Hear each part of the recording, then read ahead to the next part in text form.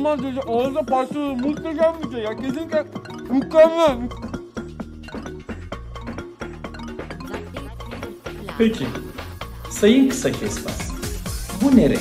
Şimdi renkler dedik. Renklerimiz her biri kendine özgü renge sahip. Siz ne istiyorsunuz?